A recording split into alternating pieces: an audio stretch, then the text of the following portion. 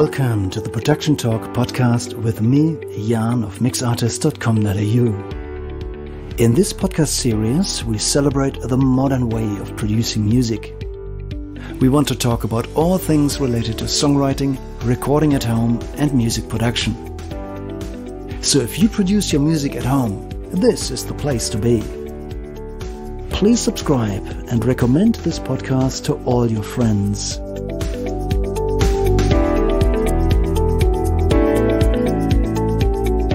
This is the Production Talk Podcast, episode 69. Welcome back to another episode of the Production Talk Podcast. At the beginning of this episode, I'd like to acknowledge the traditional owners and custodians of the country that uh, we are meeting on today, the Arakwal people of the Bundjalung Nation. And I'd like to honor the First Nations people's culture and connection to land, sea, and community. And I'd also like to pay my respects and express my gratitude to elders, past, present, and emerging. With me today is Mr. Ian Shepherd, a British mastering engineer who's worked with people like Deep Purple and the Royal Philharmonic Orchestra. He also runs the Production Advice website and he's the founder of the Dynamic Range Day. He's also the mastermind behind the Perception plugin by Meter Plugins, which I proudly own and use a lot. Welcome to the podcast. How are you today? I'm good, thanks. It's great to be here. It's fantastic to have you on board. You are based in the United Kingdom. Uh, what's the weather like? It's actually a pretty nice day. It's it's quite windy, but the the sun is out and it's very mild for this time of year. So yeah, it's nice. Okay, not not too miserable. That that's good to know. Please introduce yourself and tell us about the early days of of your career. What are you doing these days, and how did it all start? Okay, uh, so I'm a professional mastering engineer. I've been mastering for over 25 years now. Um, I, I started out as a mastering engineer, which is unusual. Um, so, you know, okay. quite often mastering engineers are people who have already had a career as a recording engineer, or a mixing engineer, or a producer, uh, and they, they kind of come to it later on. I, by chance, you know, straight out of college, applied to a bunch of different studios here in the UK to try and get some work. And as far as I knew, the company that I was applying to was a cassette duplication plant. Um, that was how they were listed in the the white book, this directory of studios that you could get in the UK. But it turned out that they were a recording and mastering studio. It had been a vinyl pressing plant, and then it had pivoted, you know, in the early '90s to CD mastering. Um, so there were four or five studios there. There was a live room with a, a Steinway piano, um, and I started out pretty much from the beginning as a mastering engineer. So I was trained from from the ground up, which was kind of unusual. Um, I worked wow. there for 15 okay. years and then left to to set up my own company, um, doing Blu-ray authoring, DVD authoring, and then the website and the podcast and the plugins and everything else since. Wow. Okay. And did they throw you straight into the deep end, or did they train you up? Did you work with clients straight away? Well not right away. I was, I guess, I would say there was definitely training. Um, Good. And yeah. I, but they, it was very practical. You know, I was okay. copying and compiling tapes, just straight digital copies. You know, recompiling yeah. stuff for one of the, the, the small labels that we we did work for very early on, which mm. was actually great because I got to listen to a huge range of music on this very high quality monitoring that they had available, you know, and I just learned simple stuff like, you know, putting in suitable gaps and, you know, fading out when necessary, um, putting it, you know, logging time codes for the beginnings and ends of songs because, you know, these days it's all done automatically mm. by computer, but back then it was all entered by hand and saved to the tape. Yep. Um, in terms of working with clients, I don't honestly remember it wasn't that long. It was a few months um, before I started, you know, working on actually audio work for clients. Um, not wow. working with clients directly at that stage. That was the case of um, I would be given an album to master that someone else didn't have time to do, and then my work would always get reviewed by one of the other engineers there. Um, mm. So at that time, you had to make a CD master on something called a U-matic tape, which was a big video cartridge um, with these incredibly expensive uh, recorders, you know, hundreds of thousands of pounds yeah. to, to make the, the master tapes. And they two of the studios there were equipped with those, but my studio wasn't. So initially, I was compiling onto digital audio tape, DAT tape, the tiny little um, oh yeah, digital tapes. I remember those. Yep. Yeah. And those and all tapes, the error codes that came with them. Absolutely, yes. and the mangled tapes and the, all that, all that yeah. stuff. Um, but um, those then got transferred by another engineer in another studio. So everything I did was listened to from beginning to end. So they would pick up. Mm. You know, I remember the first thing I did. You know, um, Nick Watson, who now works at Fluid Mastering, kind of came in and said, "Yeah, it, it's it's good, but it's not right." Um, and I did the, you know, it had taken me two days to do an album, and I had to go through and do the whole thing again. Um, and even after that, there was oh, there were some tweaks. Um, mm. But you know, that was a that was actually a fantastic way to learn because I I was in the deep end in the sense that it was me in a room on my own, responsible for what I was doing. But at the same time, I had the safety net of knowing that you know any mistakes that I made would be picked up on, and that I would get this helpful feedback. And I think uh, probably the first time I got to work with clients was when everyone else was on holiday or or sick or something, you know, and it was just kind of okay. Well, we have this session booked. Can Ian do it? Yes, mm. and I had sat in on sessions with other engineers at that point, you know, so I had learned, you know, how they handled a session, how they worked with clients, the kind of the procedures, if you like. Um, so yeah, I, I, would say it was a kind of accelerated well, intern process, if you like. You know, not kind mm. of I mean, I remember I went to visit the BBC studios when I was a student, uh, and I had a great time. Loved it. Went to, I think it was Maida Vale, the studio there. Um, but the engineer there told me I, I sat with the tape op at the back of the room, literally just hitting record, stop, logging tape. And he's like, Yeah, I've, I've, worked here for about 10 years. You know, the guy at the desk, he'll probably be done in about five years, and then I should get a chance at, at running the show. And I remember thinking, I don't want to wait 15 years to get my hands on the faders. Um, yeah, yeah, you know, right. Um, so, you know, it, it, wasn't that. You know, that was one extreme, and then I think really mine was at the the other end where, yeah, I really got into it really quickly. And very practically, and you had a fantastic training ground by the sounds of it there. Mm, absolutely, yeah. That's really inspiring. Nice. Today, there are so many mastering engineers out there, and you know, there's heaps of experienced people like yourself, and you know, uh, some big names in the industry. But that's among hundreds, if not thousands, of uh, small people. Uh, some of them are uh, promise a lot on their websites and uh, they might not have you know a lot of experience from a musician's angle from a musician who's looking for an experienced mastering engineer what's the difference um, what would one expect from a professional mastering engineer that um, an amateur uh, can't really deliver that's a really tough question because yeah. honestly it's very hard to tell from from the musician's mm. point of view you know you can have somebody presenting themselves as highly professional, and you would expect a certain level of service. Um, yep.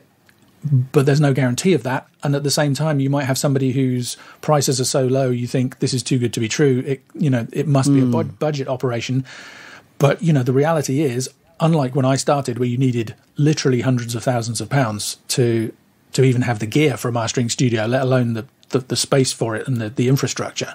Um, you know, these days you can literally create a master on a three hundred dollar laptop.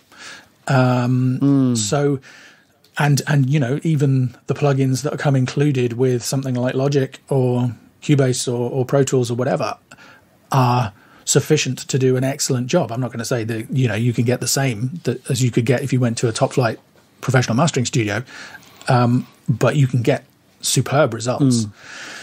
So I think my advice is always to for people to try and find somebody they resonate with, um, who seems to be accessible, who who will communicate. So something that happens mm-hmm. occasionally that still surprises me is that someone will have gone to a big name mastering studio who may have an online portal, you know, and the the kind of the entry level price, you don't even get to choose your engineer. Um, and I've had people saying, "Well, I had my song or my album mastered by this place, and I don't really like the way that it sounds. Can you do something different? And I always reply, Well, have you talked to them about it? Have you gone back and said, I'm not really happy with yeah. this result? Can you please? Um, mm. And sometimes they're reluctant to do that. I don't know whether you know they they feel that it's not their place to question some somewhere that has a, a big name in the industry, perhaps, or whether they've had that conversation and been discouraged. I've heard stories about, you know, some big name engineers being really quite defensive and kind of saying, well, you know, you, you came to me, this is what I do. If you don't like it, tough.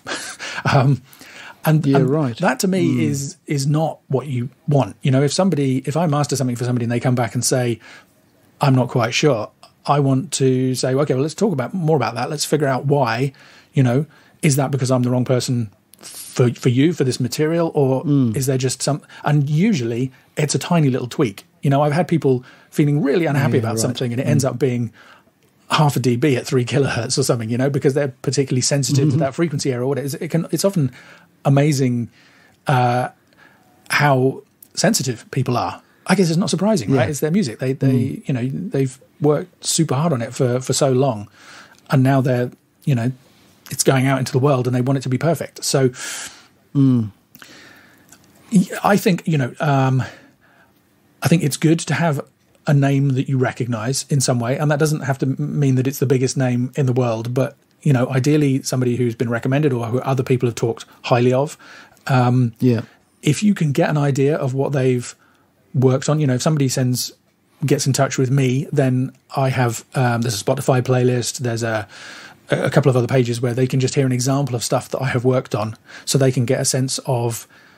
I mean, it's really hard with mastering because you hardly ever get to hear the mix beforehand, right? So whatever the artists, yes. engineers, producers, yeah. everybody else has done, then it gets mastered, and that's the version that gets out into the world.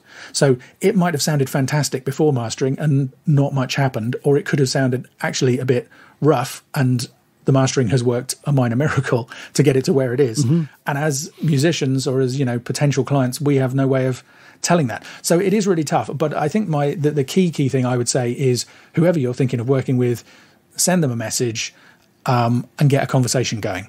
You know, um, okay. because mm. for me, it's all about communication. Um, I mean, I, mm-hmm. you know, if if somebody genuinely isn't happy, happy with the work that I've done, I would always refund them. You know, I don't want anybody to take anybody's money if they're unhappy.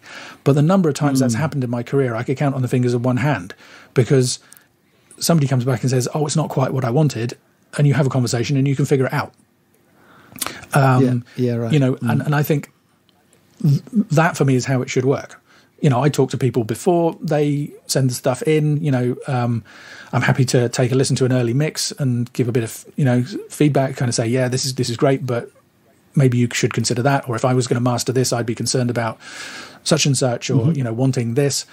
Um, and again, if somebody just sends something in, I will always, or I pretty much always do a master of what they have sent because obviously they've been through a kind of a process to get there and and this is what they've decided is ready for mastering so i'm not there mm-hmm. are some engineers i know who kind of often throw things back and say no no you need to do this this this and this and their clients love that um, i'm not that kind of engineer i tend to try and be humble about it take what they've got and her, understand where they're trying to go with it have empathy for what they're trying to mm. achieve and just help it get to the to the next level to be as good as it can be.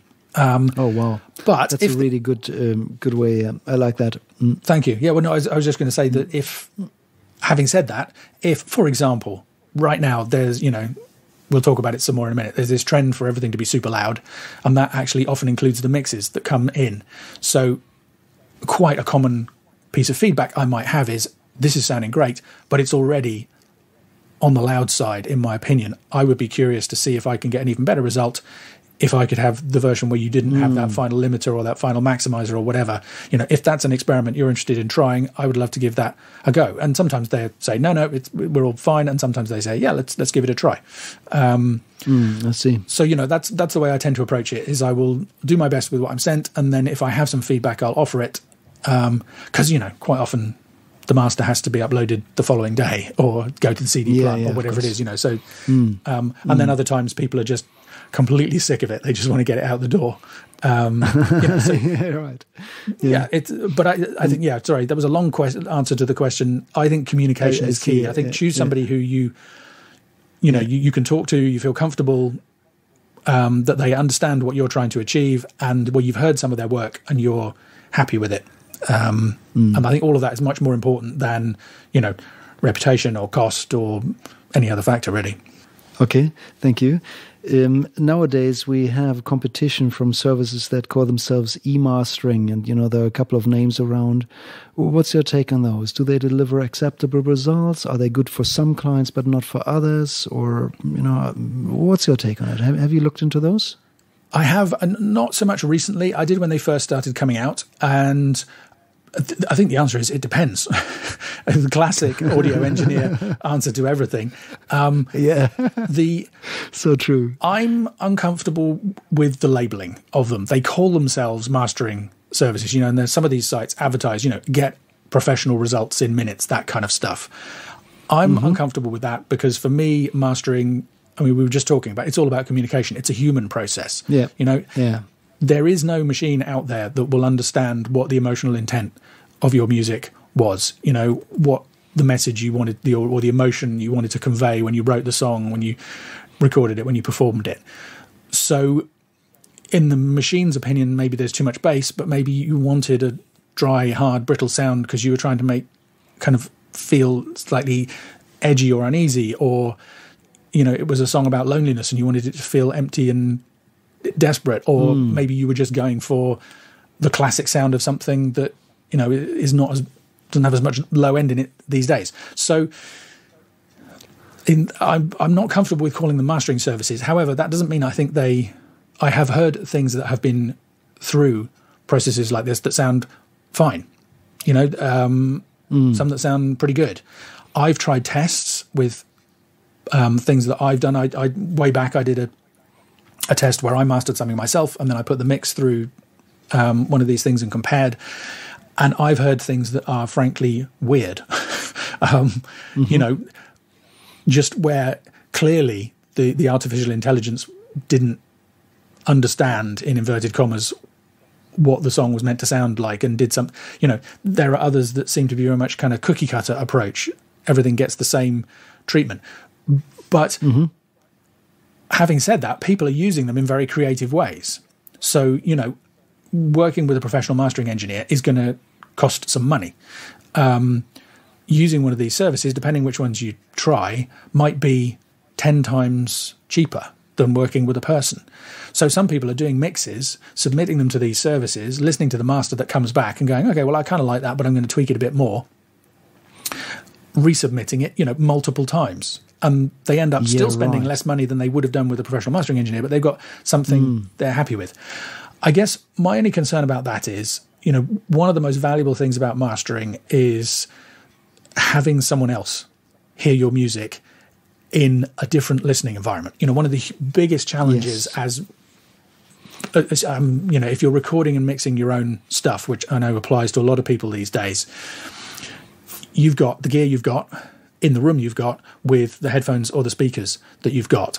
And combination of those factors could sound amazing or might actually mm-hmm. sound a bit odd. And the problem is you're always going to mix it in your room to sound or on your headphones to sound as good as it possibly can to you. But let's say, for example, just pick, pick an extreme example Apple Beats headphones, super popular, super bassy. If you mix something yes. to sound balanced EQ wise on Beats, the chances are when you play it back on anything else, especially something like little Apple earbuds in you know tiny or or a phone speaker, it will probably sound bass light because you were hearing more mm-hmm. bass from the headphones yes. than most other systems will give you. It's a bit like if you put it on in a car with a huge you know bass bin in the back. Um, That's right. You always get opposite outcome. Exactly from um, from what the speakers sound like or the, the headphones. Yeah, right. Mm. And the trouble is, if all you've got is mm. beats, so you do your mix. It yeah. sounds great on Beats. Then you upload it to one of these streaming services, uh, not streaming services, the auto mastering, you know, robot mastering things. It comes back. You do a couple of tweaks. You send it off again. It still sounds great to you on Beats, but then it goes out into the world. It might sound mm-hmm. wrong to everybody else because it might not have enough bass. So yep. Got it. If you're mm. going to work on your own stuff, which is something that I help people do, you know, on the website and the podcast, because um, lots of people do it, and it's fun and of course you know it's it's enjoyable and it's another skill. So I encourage mm. that. But if you're going to do that, I always encourage people to have at least one other trusted place to listen. It doesn't have to be super high quality, but it has to be somewhere else that you know really well. Yeah. Um, so that your instincts are reliable. And I say, listen to it somewhere mm-hmm. else. if you hear something that kind of makes you think, huh, maybe that's not quite right, make some notes, go back mm. into your mix room or back to your mixing system or mastering system, wherever it is, and listen again. And if you can then hear, oh, maybe that's right, then you can make some adjustments. And, you know, you don't want to listen in too many places because it just gets horribly confusing. Um, they do want to be places that overwhelming, you, yeah, yeah, That, that, you know really well, um, so that you have an instinct for how it should sound. Um, but even when you do that, it's still you, right? And it, the chances are, if you're recording and mixing your own stuff, you've been working on it for days, weeks, months, years, yes. potentially, um, and so everything has a story, you know. So you, mm-hmm. you put it on, you go, oh, that kick drum's a bit boomy. Yeah, but that was because of this, and actually, I kind of quite like it. Um, and there's a there's a temptation to, I guess, make an excuse for the way that it sounds, or to yep. you know yep. make a make a judgment about it. Whereas someone like me coming to it completely fresh and just saying, okay, if I heard this straight after song X on Spotify, what would I think? We'll just go, okay, mm-hmm. that kick drum's too boomy. You need to deal with that. You know, we need to open out the high end. It's a little bit too um, too boomy overall, and the stereo width needs tightening up, whatever it might be. Mm-hmm. That's something that the mastering engineer can bring to you, which is just this, you know, this fresh perspective, a fresh perspective, yeah. and it's mm. what they do all day, every day. Mm-hmm. and that can be super valuable, and it can be super hard to have that perspective yourself. Um, yep. I mean, again, there there are ways around it. You know, you can That's take a so rest true. between finishing the mixing. You can give it mm days or a week or more before you come back to it so that you're hearing and as i say you can listen on a different system to get a completely different yep. take on it rather than where you recorded and mixed it so there's yep. there's definitely stuff that you can do and it, it, it's possible you know i i have people who've taken my courses who go on to become mastering engineers you know they get so good at it um, mm-hmm. that uh, you know they they end up you know making it part of what they offer to their to their clients so it is possible but it's hard um, and that's another mm. thing that you don't get from the from the online services. Mm. I don't think you know, you get some yeah. kind of. I always think it's more like um, you know uh, the what are they called the the wizard things in a in a photo app on a phone. You know, you take a photograph, and it's it was a dull and overcast day, and oh, so I'll hit the hit the magic wand button and oh it brightens it up and the colors pop a bit more and it looks generally better you know that's that's worth doing mm. is that the best possible version of that photograph probably not if you sent it not. to a graphic yeah, designer yeah. Um, or if it was a bit of video and you sent it to a, a professional color grader they would give you an even better version, you know, where the, and you know, because maybe it'll over brighten it a bit, or it'll blow out some of the the highlights, or you know, whatever it might be. Mm-hmm. Um, Mm. So yeah, another long answer. I think those services can be useful, they can be valuable, they can be helpful. Some people use them really well and are really happy with them. For me, it's not mastering. Um, mm. It's more like you know a kind of an auto correction tool. Um, yes, and that, that's right. So yeah, mm. it's you know if if, mm. if it works for you, then then that's great. But hmm. I would hope that uh, a human would get an even better result. Yeah. And uh, none of those uh, mastering algorithms have any sense of taste yet. that's uh, still reserved to us humans. And what I also found is that um, you know there's still a value in, in, producing EPs or albums, and that's not something where you know e-mastering servers actually look at how the songs work together. By my understanding, they just you know apply algorithms to each song individually without considering the song before and after. Yeah, that's a great point. Is, is that do, do you agree with with that? Is, is I, that I completely agree. Yeah, I'm not aware of any service that yeah. will mm. do anything different if you give it a bunch of songs. Okay. I mean, I guess that will mm. come as well. Probably, you know, that'll be yeah. A, a, future enhancement. Mm-hmm. Um, so you know, the technology is always progressing, and there definitely are elements of what we do as mastering engineers that are similar for each job. You know, it's mm. everything. Every song on an album I work on separately. You know, kind of common misconception is that oh, mastering is just putting a limiter over the whole thing. You know, that's mm-hmm. not what. Make it loud and bright. Exactly. I mean, the cliche. we we do usually make things somewhat louder, and we might yeah. make them brighter or warmer or whatever mm-hmm. that might be. If but it yeah. all depends on the material, and you it could easily yeah. be a completely different approach for every song on the album and that mm-hmm. really is where okay. where the magic is for me you know is mm. okay i make some small changes to this song i make some small changes to this one this one needs a bit of a bigger change that one was fine mm-hmm. but i needed to turn it up a ton, and that one mm-hmm. was also fine, but I turned it down slightly. Individually, mm. those changes may not be that huge, but when you put them all together and they become an album or they go into a playlist, uh, yeah. it can make it can transform things. It's it's kind of amazing um, what mm. you can achieve just with a stereo mix and and some quite simple changes. So yeah, that's another limitation yeah. of the the online services um, right now, at least. Okay. Look, uh, you mentioned earlier at the beginning of interview that um, many of the clients of your clients um, partially produce at home or produce at home from beginning to end. Does that make your job harder when when people record and mix themselves at home compared to you know productions that come from a professional studio? Wait for it. It depends. um, really? oh no, absolutely. Some of the some of the worst recordings, genuinely, I've ever heard have come from some of the biggest studios in the world. Um, in my opinion, you're not kidding. No, I'm not kidding. Seriously, um, absolutely. Yeah, I've, I've heard. Okay, I heard stuff that I would not have allowed. You know, I'm I mean, simple stuff like um, I say that recordings, yeah, recordings mixes as well. But I mean, I mainly get to hear masters because it's usually that thing that somebody is not quite happy with what they've got, so they ask me if I can give them another kind of perspective on it. Um, but yeah, I've heard mm. masters where you know the left channel was a one and a half dBs louder than the right, so that the drums and the bass and the vocals all sound like they're not coming out from right between the speaker. You know, the whole mix sounds lopsided. Yeah, right. And that just to me is just fundamentally not right. You know, that's, I, a, that's a huge oversight. Yeah. I think so. Mm. Uh, I mean, I, I guess mm. it's possible that that was a conversation. Well, no, actually, because of the example I'm thinking of where that happened, I corrected it, and the client was like, "Oh yeah, I wonder why they didn't fix that." um, mm. You know, so so yeah, I've I mean, it's not common. Most stuff that comes from professional studios is good. You know, I'm, I'm not okay. uh, tr- yeah. trying to yeah. pretend, but it is true that I've heard really poor quality results from places that you would not expect that from. And some of the best recordings I've heard have been made by people in, in air quotes, bedroom studios. Um, wow. You know, well, I mean, just for example, as a, for a recent example, you could take the the Billie Eilish album. Um, yep. You know, not the most mm. recent one, but the, the, the first one that kind of went huge for her. She and um, Finneas recorded that literally in his bedroom at their parents' house. Um, it was then professionally mixed, you know, and professionally mastered, so it's not completely clear cut. But yeah, you, there, there's no clear pattern. Mm-hmm. You can't assume, oh, it's coming from okay. a home recording. It'll be mm. not great, and you can't assume that oh, it's coming from a professional recording studio, so it'll sound fantastic. Um, it completely depends on. I see.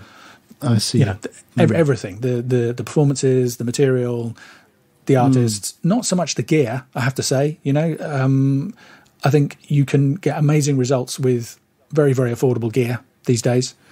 Um, and I mean, again, I've heard stuff from you know where I know that people have incredibly expensive um, high end gear, and it still doesn't sound great. Um, so you know that. I, yeah, that's a red herring in my opinion. It's of mm. course, it's nice to have really expensive, really nice gear. I'm not, you know, not going to knock that at all. But it's not a requirement, um, especially not now with the it's more technology. how you use it rather than the gear itself. Is, is that what you're saying? Exactly. Yeah. Um, yeah, the, yeah. the, unofficial mm. catch line of my uh, catchphrase of my my um, home mastering masterclass course is uh, it ain't what you use, it's the way that you use it. Um, and I, yeah, I, I uh, that is right on, right on. Yes, I, I, love that. I love that. Okay, really cool. Um, look, uh, a bit earlier we had a little diss uh, um, uh, on, on you know the e-mastering services and and spoke about what a professional mastering engineer can do. But even professional mastering engineers do get things wrong at times, and there was a time when uh, everybody fell for this collective madness of making everything a little bit louder than the other record. Uh, which we all know these days as the loudness war. And uh, I believe from all the mastering engineers that I'm aware of, you're probably the most vocal one against uh, the loudness war. Can you can you comment on, on what's what's wrong with loudness? What, what's wrong with loud masters? Well, no, there's nothing wrong with loud masters at all. Um, I mm. think the the problem is when it becomes a competition or a war, as you say. I mean, I love mm-hmm. that you you mm. spoke about it in the past tense, but I'm I'm afraid from where I sit, it's still very much um, in play, um, which is particularly frustrating because there's no real. Even if you thought there was a benefit to being loud, these days most people won't get to hear it. We could come on to that in a minute, perhaps. Um, but no, I mean, it, yeah, I love loud music. Everybody loves loud music, um, and there the reality is that if you play somebody two versions of a, a, song that are identical, but one of them is slightly louder, the chances are they will say that the louder one sounded better because there is a yes, it's a it's a, a psychoacoustic effect. It's something that our brains do. It's not to do with the sound itself. Um, nobody mm-hmm. really knows why, but louder music sounds tend to sound as though they have more bass and more treble. And it might be an evolutionary thing. I, I always make this joke that, um, you know, maybe it's because for a caveman, um, the jaguar that is, or saber toothed tiger, I should say, that is breathing down your neck um, about to eat you is much more important than the one that's 100 yards over there um, stalking a herd of gazelles. So your brain prioritizes the sound that is close to you because if you react to it, you're more likely to survive. That seems quite credible to me. Um, but it may not be the real reason. Oh, I love that. Um, but the, yeah. the, the, fact is that um, we That's tend to great. prefer louder sounds. Um, so yeah, yeah, you know, mastering engineers have known this for ages. Even if somebody brings you the most amazing mix in the world, if you turn it up slightly, it'll sound slightly better to them, and they'll think they're getting their money's worth. Except mm-hmm there's always a limit to this stuff. You know, amps have a maximum gain, speakers have a, a maximum level you can push them to before they start clipping and eventually, you know, shredding tweeters and stuff. And particularly in digital formats, you know, with, with analog tape, you used to be able to push the levels up and it would start to kind of softly saturate and it would get a bit, you know, kind of blurry and mm. crunchy and, you know, the transient would, transients would be softened and actually that could sound quite nice sometimes or certainly quite appropriate to some for, degree for some yeah. material. Mm. Um, digital clipping is much less forgiving. Digital clipping um, mm. tends to sound very brittle, very harsh, very quickly, um, especially especially when you know you get beyond just the odd transient and it's cutting into musical signals like a, you know the, the, tone of a bass guitar or a vocal or whatever. Um, so yeah, you know in every piece of audio software you have this zero dB um, indicator at the top of the meters. And if you push that into the red, the chances are it's not going to sound great. So you add extra processing, you add compression and limiting to try and bring the level up and not hit clipping. And that also can sound good in moderation and sometimes even in excess. But, you know, it's. I always talk about. I have this analogy that I call the the, the loudness cliff. You know, if you imagine um, you're pushing a boulder up a mountain, um, and you want to be on top of the mountain where everybody else is as well. So it takes a lot of effort to push the boulder up to kind of two thirds, getting up to close to the top of the mountain, and then you get towards the top and it starts to level out. And actually, it's not that hard anymore. You can push it, but you're not getting very much. You know, you do the same amount of pushing and you don't get that much higher. Um, then you get to the top, and if you push it just a little bit too far, you go over the other edge and get smashed on the rocks below. and uh, it, for me, it's the same with audio. Yeah, you don't want to be yeah. too quiet. You know, you, you, it wants to be loud enough. Um, mm-hmm. And actually, there is some benefit to using that compression and limiting the processing to achieve that kind of loudness. It can help glue the sound together. It can help with consistency. It can help with translation, which means you know it can help it sound the way people expect on a wider range of systems. Um, and then you get into what I consider to be the sweet spot, which is the top of the mountain. But you push it much further than that, and then you just start getting damage, you know, and mm. it can be hmm. subtle to begin with. Um, you know, if you imagine the mountain kind of just rolls over a bit and it just starts to go down slightly, you don't really notice too yep. much. Um, and then beyond a certain point, you know, it's it's it's, it's all downhill from from there. Yeah, right. Um, mm. So, so the, the so loudness there's some kind of a sweet sweet point there. Absolutely, that, I'm that you need about... to find, and if if you push it even further, then you get past it, and it actually gets worse. Exactly. Is that what you're saying? Yeah, mm. I'm I'm all about finding the loudness sweet spot. I mean, for me, mastering is all about balance. It's not about matching. You don't want to make all the songs yep. sound the same or be the same loudness, or you know, it's everything is unique and wants to be treated as as the best it possibly can be. But it's about balancing things. You know, you you want a quiet song to be a little bit quieter than a loud song.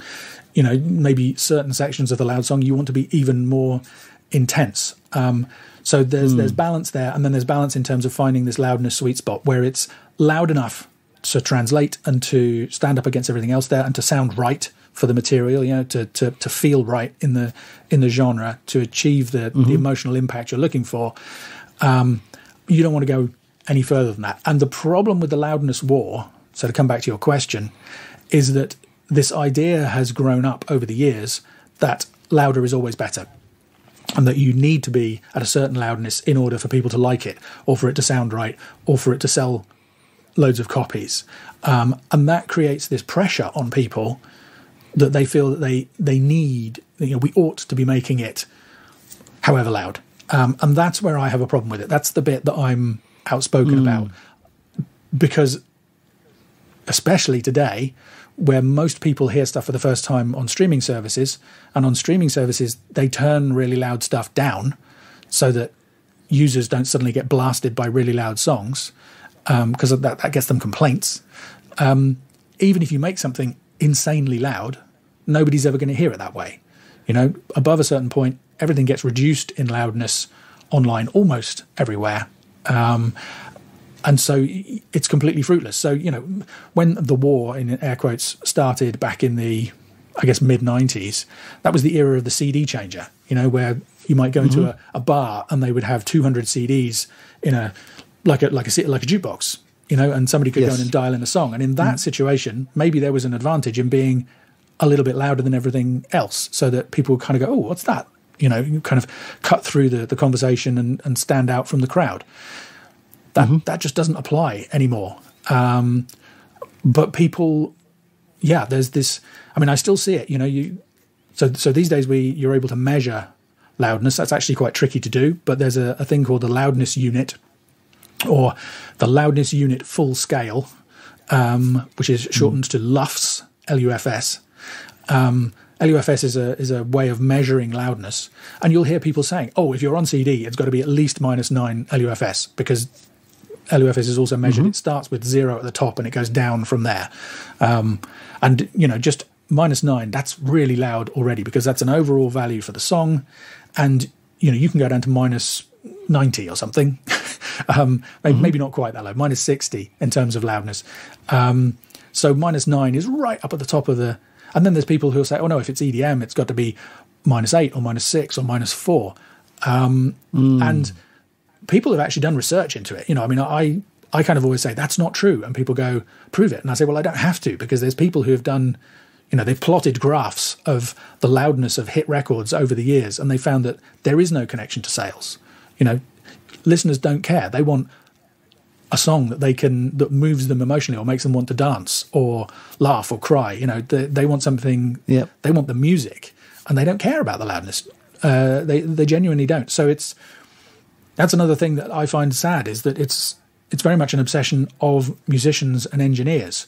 You know, the people who care most about the music have fallen um, have been deceived by this idea that it has to be super loud, and they end up making it louder than it needed to be because they think it's necessary, and they don't realize that really nobody else cares much.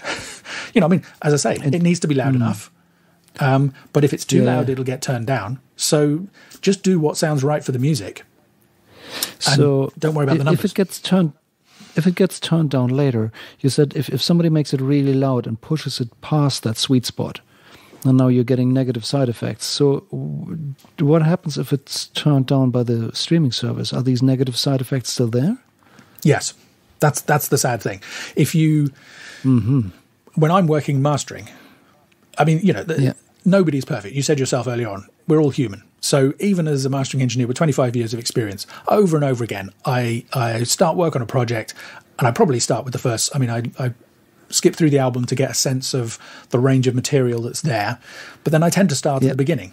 So I'll take the first song and I'm, I'm mastering. I get it to a point. I think, oh, that sounds great. Um, and then what I always do is compare with the mix before I had done whatever it is I'm doing it with. And because I know about the loudness deception and I don't want to be thinking that what I've done is better just because it's louder, I always, well, I, these days, you mentioned right at the top, I use my perception plugin, which just automatically measures the, the before and after loudness and balances them. So then I can do a comparison. It's like, okay, how does this sound different without having to worry about the loudness? And not mm-hmm. always, but still quite often, I'll get to that stage and it's like, yeah, I went a bit too far. um, you know, it's there's mm. not quite as much impact, or it's maybe it's a little bit too bright overall, or it's a little bit crunchy, or you know, and the great thing then is that it's easy. I can just ease back slightly on my settings, usually come up with something that sounds even better, and then that time when I do the A/B comparison, the before and after comparison, I'm like, yeah, my master sounds better than the mix, which is my goal. You know, or well, I want it to sound as good as the mix, and I want it to be the best possible version it can be. It doesn't have to sound better, but um, often I do think it sounds better. Um, and that's not because of the loudness. That's it. Just objectively, you know, it sounds more glued. It sounds more consistent. It sounds, you know, the the mm-hmm. dynamics are working better. The chorus really hits now. I can really hear that kick drum pumping through. Whatever it is that that I'm going for. Mm. So in that case, I've spotted the negative effects, and I've adjusted them at the mastering stage, so they don't end up in the master, right? And so then that version can go out, and people can play it however loud they would like and it's going to sound as good as it can on that particular playback system. That's the goal. Okay. If I hadn't mm. done that process, if I had gone with my first impression, which actually was a little bit on the hot side, when that gets uploaded to the streaming services, they will turn it down, but it's just a level reduction. They don't change anything else about the sound. So all of those negative yep. things, that slight crunchiness, that maybe the pumping, or maybe some distortion, or it just all sounds a bit flat mm. and a bit held in and a bit, you know, the, the chorus doesn't quite kick. It doesn't have that space and that, yep. that life to it. That's still going to apply. It's just going to be quieter. Um, and if you okay. take an extreme where something is super loud and it gets turned down, often it can actually sound quite a lot worse than other music because yep. this is the other thing, right? Once the loudness deception is taken out of the equation, once you're hearing stuff at a similar loudness level, you hear much more accurately what's happening. That's why I do it when I'm mastering, so that mm. I don't mm. fool myself. Mm. But these days, you know, people listening on streaming are not going to be fooled by loudness. They're going to hear the songs exactly as they are, and that's why I encourage everybody to go for balanced dynamics. You know, it doesn't have to be super dynamic. Yeah. Like I say, I, I love mm. loud music. I love loud sound. I'm, my goal is to make people's loud music sound loud, but also sound great. Got it. Mm, okay.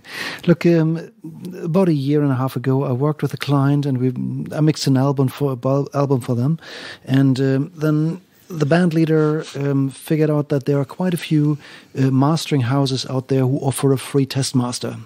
So he took one of the mixes and passed it to I don't know two or three different mastering engineers and got them all back. So when he listened back, he just put him, dropped him pretty much in his DAW and hit play. And uh, I noticed that they were quite significantly differently loud. And going back to what you said earlier about how we perceive volume differently and how something louder seems better, uh, I wasn't really surprised that the one that he perceived as loudest was the one he liked best. But if I understand what you said correctly, it was actually not the best thing to do. He, he should have balance the volume out first before making that call. Is is that correct to say? That's my well, What's a good way? To, what's a good way to compare two different masters or two, three different masters in this case? Well, how, how would you do that? Well, okay. So, two answers to that. Personally, I okay. would measure what's known as the integrated loudness. So it's the LUFS value, and it's a single number for a whole song. Um, and I okay. would match the songs. So if one of the masters mm-hmm. came out as being 2 dB louder, I would turn it down by 2 dB, and then I would make my comparison. Mm-hmm. Um, and I have a a and that's before you hit play. Is that right? That's before I hit play. Well, no, yeah. I would probably listen to the raw loudness first. I mean, I think both are valid and important, mm. you know. But the reality okay. is, we're not in the early 90s anymore.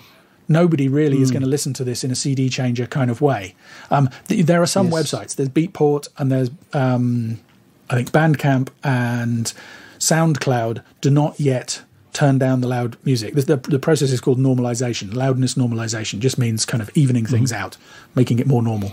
Um, mm-hmm. So those sites, which obviously are important to independent musicians, don't turn down the loud stuff. So I think it is important to know how much louder everything else out there is, you know, when, when you're comparing and to in- factor that in. So I'm not saying loudness mm-hmm. is completely irrelevant, but I would also measure and match the loudness and do that comparison yes. okay. because that will enable mm. me a to pick out whether there are negative aspects of the louder um, songs that on reflection I'm not so happy with. But also, mm-hmm. you know, if there's a louder version that sounds just as good to you, even when the loudness is the same, then why not go with that? You know, the, that's great. Mm. Um, the second way that you can do it, um, and of course I would say this, but is to use a website that I developed with Meterplugs. So Meterplugs are the company that I uh, developed my plugins with. We created a free website called Loudness Penalty. Um, it's at loudnesspenalty.com. And anybody can go there and you you just drag an audio file onto the browser window. It doesn't get uploaded um, all the processing is done in the browser on your computer, so it's completely secure. Nobody is listening to or storing the music. Um, and it will tell you what adjustment to the level will be made to that song on a range of streaming services. So it might say, oh, it'll be turned down by mm-hmm. 2 dB on YouTube and Spotify and Tidal, it'll be turned down by 4 dB on Apple Music. Um, so, and then you can preview it. I mean, the numbers are interesting, but the important thing is you can then press play and hear it with that adjustment applied. And then you could open one of the, to use your example, you open one of the other masters in another tab in the browser do the same thing with that I and preview see. that. Mm. So then you don't have to worry, you don't have to understand loudness units or have a loudness meter or measure any of this stuff. Um, just open yeah, as right. many tabs as you hmm. like. You can even compare it to, you know, providing everything is going through the same sound card and you've got all the volume controls set to, to zero, you could compare it with other material on Spotify, for example. So you could choose, okay, how will mm-hmm. this sound in terms of loudness on Spotify? And then play a couple of reference songs nice. that you really like yep. from Spotify. And that will tell you before you upload how the stuff is going to sound. And you can then make that mm. an informed decision about, uh, you know, am I happy with how this sounds once it has been normalized, once it's been um, wow. changed to the distribution loudness mm. of the mm. service you're on. Um, because they, they all that have a, a point really where they, idea. Yep. that they don't go any further. Yep. They'll turn loud stuff down. I love that uh, workflow. I've used that website to, to come up with the measures, but I've never used it actually listen back in a normalized fashion. Mm-hmm. That is actually really smart. Look, I'm going to put um, the link to, to um, loudnesspenalty.com into the show notes. So if you get to the end of the episode, please scroll down, click it, and then bookmark that straight away for your productions. Great advice for listeners. Thank you. So going back to um, my client who had a couple of different masters at hand, some louder, some some quieter. Um, if if they were to go on CD, chances are they probably would choose the loudest one. But but what about streaming services or vinyl or radio? Would it make a difference there whether they pick the moderate or the really loud one? What's your take on that? Um, there are different answers for each. Um, okay. I mean, first thing I would say is that it's not necessarily the right approach to choose the loudest one for CD, um, mm-hmm. because the reality is people who listen on CD, the chances even with all of this, I mean, one of the other crazy things about the war is even with all of this going on, there's a big difference in loudness between stuff that gets released. I mean, if you take something like, mm-hmm. um, you know, the the the Daft Punk album from a few years ago that everybody loved the sound of so much, that was mastered significantly quieter than a lot of other stuff around. The new album by Tool was mastered by Bob Ludwig and mm. overall was at minus 14 LUFS, which is quite a lot quieter than most, you know, aggressive kind of progressive metal is mastered at. I mean, just to return to my previous point, that had no influence mm-hmm. on the mm-hmm. success of those albums at all. But let's say you went from listening to, you know, something super loud and then you put one of those CDs in. The first thing that you do is adjust the volume that you're comfortable with it. You know, if it comes on, it's a bit loud, you turn it down slightly. And if it's a bit quiet, you turn it up. And people are used to mm-hmm. doing that. Um, and they always do it themselves. So even though there's no computer algorithm making decisions about loudness on CD, the person listening to the music makes that decision. So, and as soon yes. as they've done that, mm. the advantage or disadvantage, in inverted commas of, or in air quotes, of being louder has gone. Right then, it's exactly as if they, they had see. used their own yes. personal version of the loudness penalty website. So, yeah. I, as I say, yeah, if, you, if, if, you find a loud mm. version mm and it still sounds mm-hmm. good to you even when it's loudness matched. I don't see that there's any harm in using mm-hmm. that for the CD release. Um, mm. But so, uh, what about radio, for example? Well, okay, radio is the most complicated. I was going to do vinyl next mm. because okay, okay, if, then if, do vinyl first. so vinyl is kind of simpler because there are physical limitations in the vinyl format that have to be taken account of when the cut is made, which determine how loud something can be cut onto the record. So, for example, the longer the playing time of the vinyl, the lower the level has to be because basically, you know, a vinyl is a, a groove cut in the in the plastic. Um, you have to be able to fit enough grooves onto the record to get the running time that you want. Um, so the longer it gets, the less space there is for the grooves. So the the smaller mm-hmm. the grooves have to be, and therefore the quieter it is cut. Um, so really, the digital level that we've been talking about is not strictly relevant when it gets cut to, to vinyl. The cutting engineer is always going to adjust that. Um, and mm. I'm not a cutting engineer, but I know uh, several really great vinyl cutting engineers, and they all agree that actually they can get better results with more dynamic material going in. So, not this super loud, super limited loudness war mm-hmm. uh, sound. They can cut that sound to vinyl.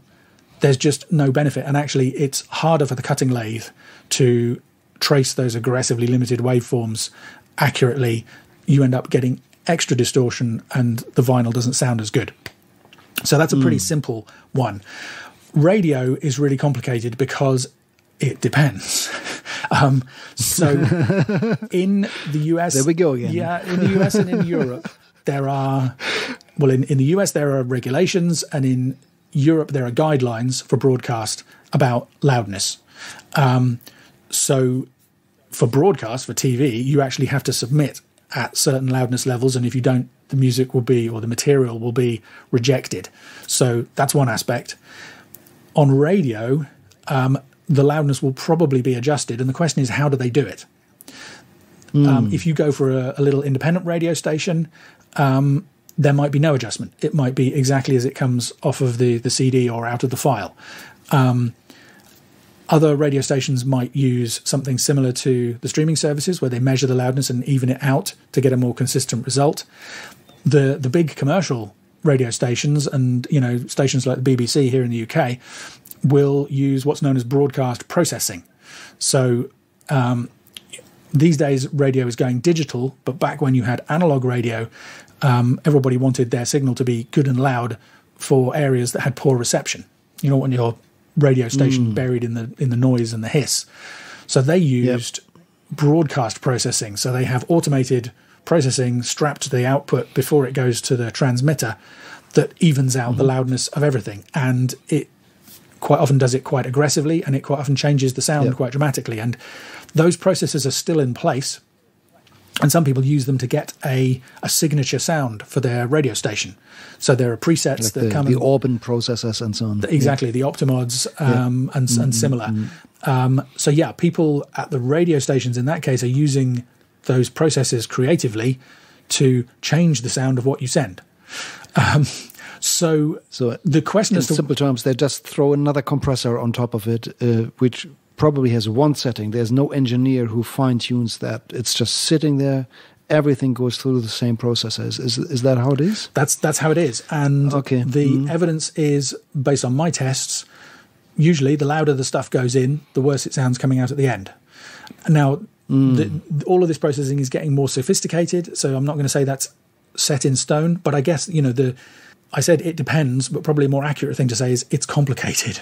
Um, yeah. It depends. You know, surely yeah. there's mm. very little control. You because obviously your music might get played anywhere, and if it gets played on, mm. but I okay. think for me, the the answer is always go for the sweet spot because then you're yep. making the music sound the best it can be.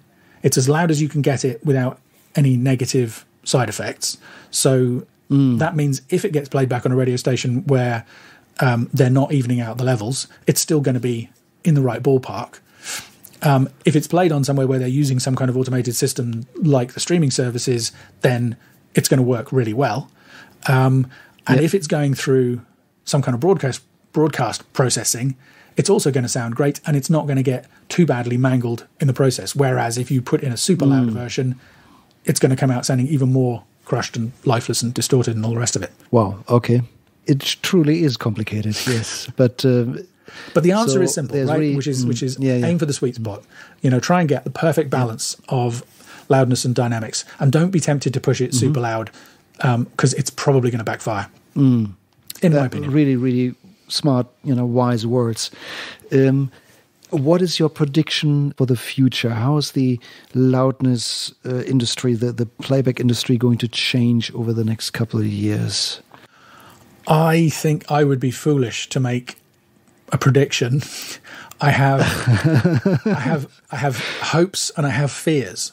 You know, okay. Um, I hope that over time, more and more people will realize that it's not necessary to to push for extreme loudness. There's no real benefit, and will choose to, you know, pull things back a bit and master, produce, mix, record, master their music with more balanced dynamics, um, and that they can do what's best for the music. You know, rather than thinking, mm. oh, you know, I mean, one example for me is country music.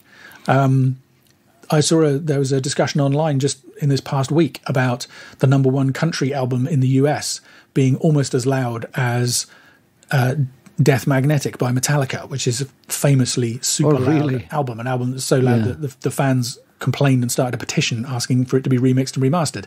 Um, now, it's not actually as loud, but it is really loud at the loudest sections, and I just listen to it and think, is this musically appropriate? You know, does this make sense for the for for the art? Mm. Was it hmm. necessary? Um, so my hope is yeah. that you know people will stop doing that. They'll stop feel feeling pressured into um, doing things that are not right for the music just because somebody says they should or they are afraid it won't ha- they won't be able to sell copies or that people will skip their song or something um, and just start doing what's best for the music um, and the great news is that because you know normalization this this process of turning down the louder songs is here to stay it's only going to get better it's only going to improve it'll get more sophisticated it'll get mm. more clever it'll get better results and that means we have creative freedom to to genuinely do what's best for the music and not have to worry about loudness right. for, for its own sake mm. that's my hope um, my fear is that that won't happen that the, the myths will persist you know that people will continue making. I mean, you know, one of the sad things that's happened is that some people have heard their music not sounding as loud when they when it gets reduced in level by Spotify or YouTube or whoever. So they just do another master that's even louder, um, and they just they just keep going and piling it on in an attempt to to kind of fight that system. So there's there's a kind of negative aspect to the the whole thing there, you know, where it's it's really not helping. Um, so you know, I have another reason to be hopeful, which, funnily enough, has to do with this new feature on Apple devices called Apple Spatial. Um, there's a lot of excitement about it last year. They are you kind of get this 3D immersive sound on. I mean, it's on Android as well and, and other systems, but Apple have really kind of gone with it in terms of publicity. Um, and obviously, there's a lot of people using Apple devices. Um, and yeah, it's all about 3D immersive sound, um, trying to get the feeling of surround sound, even if you're just listening on headphones. Um, and the interesting thing about that is that the the music is being delivered in a format called Atmos, Dolby Atmos, um, which is a kind of an upgraded version, if you like, of, of Dolby surround sound that people might remember. Um, and they have specified that these masters can't be too loud because it messes up what's possible technically in terms of because you have this format where nobody knows where it's going to be played back. Is it going to be played back in a movie theater mm. on 36 speakers or in somebody's living room with 14 speakers or just on a pair of earbuds? Yes. So to have that yes. flexibility mm. to prov- to provide the best possible playback experience on all those devices, they've said here is where the loudness needs to be. And the result is that engineers working in that format can do stuff that is much more dynamic. So it's got to the point where most of the time I will now choose to listen to the Dolby Atmos version of a song, if there is one, on my um, my phone rather than the stereo version, just because it's likely to have more dynamics, um, and it won't be super super loud. I'm hoping lots of people will do that, and then everybody will start thinking, well, okay, well if we can go and have some decent dynamics there, let's do them in the stereo mixes as well. You know, why? make these two versions. Yeah. Let's let's just have yeah. better dynamics everywhere. So again, that's my hope. That's my optimistic um, outlook. But I well, fingers crossed. Well, yes, I was going to say I, whether I could predict that or not. And sadly, I'm not sure I can. but yeah, fingers crossed. Let's hope. Okay. Excellent. Look, um, may, maybe the very last question. If people are now curious to learn more about you, and maybe want their record mastered by you, where where can they find you? What's the best place to, to get in touch or follow you? Uh, they can go to my website, which is productionadvice.co.uk. Um, if you click on the About tab there, you'll find my contact details, or you can search for me uh, on social media. I'm on Facebook and Twitter quite a bit, so people are welcome to connect with me there. Um, if you want to hear more of this kind of stuff, you could take a listen to the Mastering Show podcast, which is available on iTunes and everywhere else you can get podcasts. Um, I have warmly a, recommended. Oh, thank you. Mm. Um, I have a, a, YouTube channel where I put videos out about all of this kind of stuff, kind of giving practical demonstrations and advice for people who who want to try out some of the things that we've been talking about. Um, yeah, so it'd be great to hear from people. Ian, thank you so much for your time today. All of these uh, places I'm going to put in the show notes, of course, so you have no excuse. Uh, click the show notes, scroll down, click the links, and check out uh, Ian's fantastic work online. Thank you so much for sharing all your wisdom with us today. I really appreciate that. No, my, my pleasure. I enjoyed it. Thanks for having me.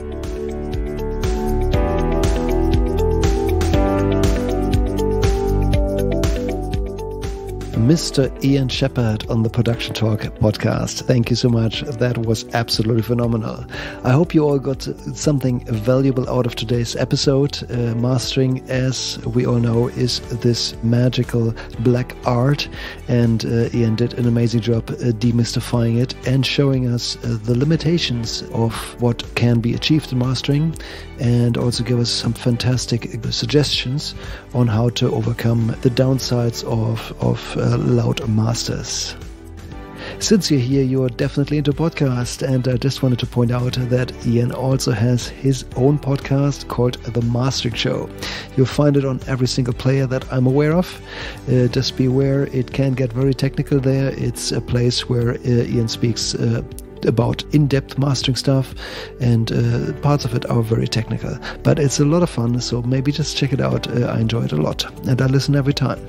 If you want to reach out to me, you can do so via my website mixartist.com.au, where I offer music recording services on the east coast of Australia, and of course online mixed-tone services for clients worldwide.